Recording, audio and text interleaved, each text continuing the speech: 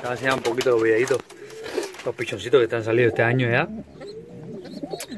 Ah, tenemos estos humaditos así con el pico blanco. Este azulito. Esto lo está criando la humada de, Edu con el, con el cabo. Que hayan salido así humados es coincidencia porque estos pichones son hijos de la negra con el azul de Edu. Ya no sé si el azul de Edu tiene algo que ver con humado y por eso es que ha salido este. Pero no, tiene, no son hijos de esta paloma, así. No tiene nada que ver. Pero salió así, azulón, humado así, con su pico blanco y un azulón. No salió nada negro ni nada. Dale, dale, dale, dale un poco comer. Después tenemos estos pichones. Nos está criando la corbata y el, el palomo viejo este de, de Toledo que me dio Muso. Estos palomos son hijos del azul deportivo con la eh, biselá que tiene que ver con el rápido. La única que queda. Estos dos azules. Y estos azules aquí. Eh, eh, eh.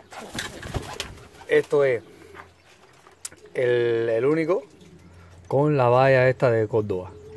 Que lo está criando en negro. Negro blanco este, el gabino de Chimo que está ahí. Con la huma vieja mía. Están criando estos dos. Como se dan cuenta, ningún pichón tiene que ver con los padres que están criándolo. Pero es porque los he utilizado las tres parejas para rear huevos, unas parejitas que me hacía ilusión tener algo a ver qué daba. Los seis tienen al mismo tiempo para que vuelen los seis al mismo tiempo. Y esta, que es la que he criado a mano. Esta paloma es la blanca con el, con el palomo viejo ese de Toledo. Que tuve que criar la mano porque la paloma se me escapó y estuvo dos días ahí y venía con un pichón en mano, pero se me murió. Ahí está cogiendo el granito que te gusta.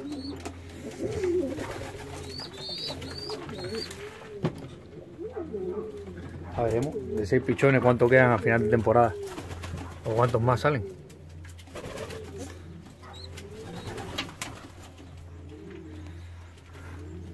Esta me dijo Edu que le, guardara la hembrita aquí. Que calculo que la hembrita será esta, esta de aquí detrás. Este tiene más pinta de ser el machito.